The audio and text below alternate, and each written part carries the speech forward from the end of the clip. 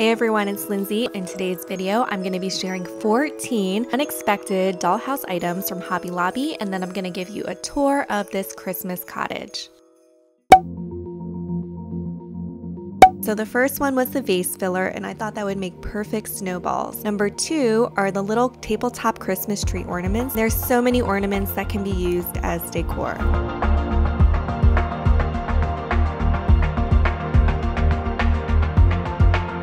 Bottle brush trees is number three. These make great Christmas trees, whether inside or outside of your dollhouse. Number four are paper crafts, and I love these. These make great picture frames on the wall. We have these little bottles, which are great in the bathroom or kitchen. These little bottle caps make great pie pans.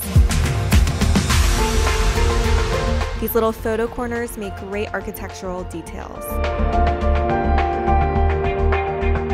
So number five are stickers. If you can find the slightly more expensive ones that are a little more three-dimensional, they make great dollhouse finds. Number six is scrapbooking paper. Scrapbooking paper makes great floors, backsplashes, rugs, and it's a quick and easy way to add texture to a house without using wood or fabric or real wallpaper, etc.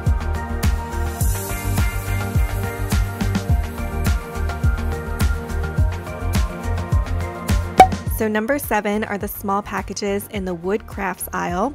You can find flower pots, you can find spools, little round wooden pieces to make furniture. Number eight are felt sheets, and they have more than just felt in this section. They have faux leather, they have faux fur, and these make great rugs.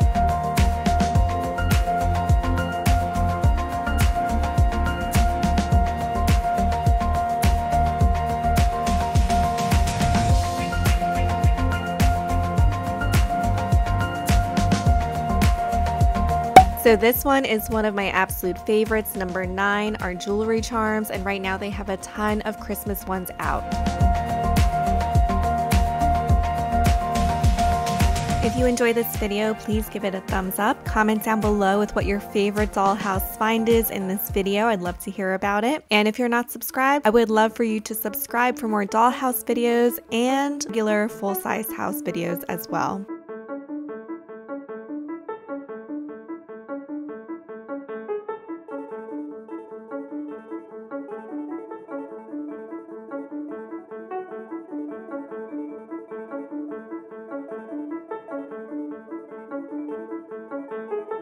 They also have a ton of tiny little Christmas craft items as well. Buttons are another great dollhouse find. They have themed ones and you can also just use regular buttons for plates. The fairy garden aisle also has a lot of fun finds. They may be not quite to scale for 112 but still some good finds. Number 13 is ribbon. It makes great bedding, curtains, table runners, etc.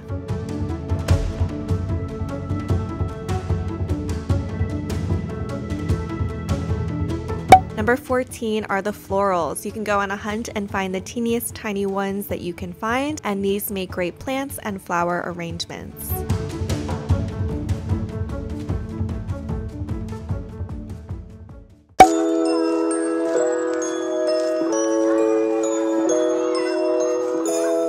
Finally, it's time for the Christmas Cottage tour. So this is a dollhouse I built from scratch a few years ago. I will link the playlist. So this orange crate came from my mother-in-law. This mat is made from a cork scrapbooking paper. And the wreath and greenery are made from Christmas-themed pipe cleaners.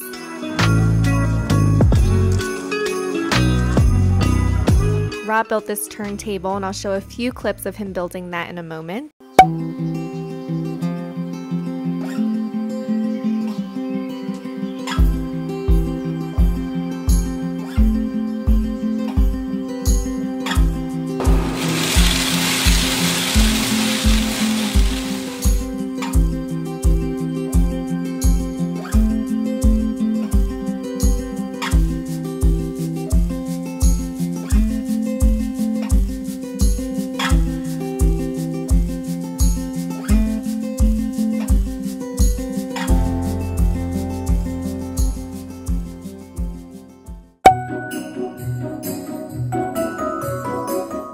Is the inside of the dollhouse.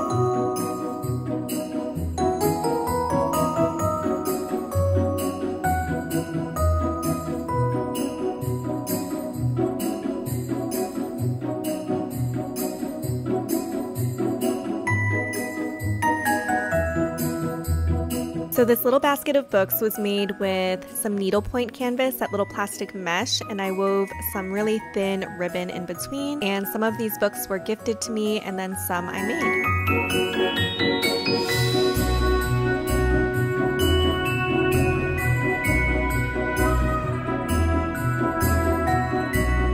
I think I shared this little teddy bear guy in an estate haul recently. I built this fireplace out of cardboard, leftover trim pieces, some beads, and some sticks. The bottle brush trees on top are actually wrapped with some fast food napkins.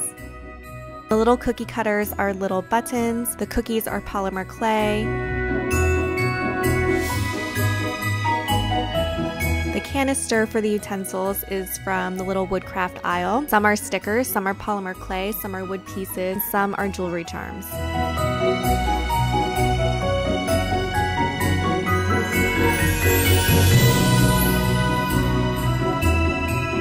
Soap is also polymer clay, and the towel is made from a baby washcloth. The Christmas tree was an ornament from Walmart, and I saw that they still have those this year. I made all the gifts. I took some cardboard and wrapped them with scrapbooking paper.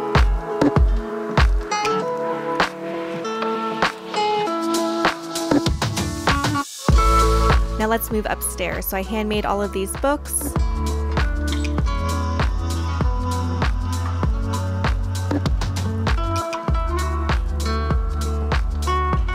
Clock is a button with a clock face glued on.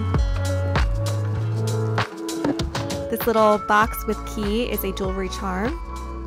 We have a little gift wrap table.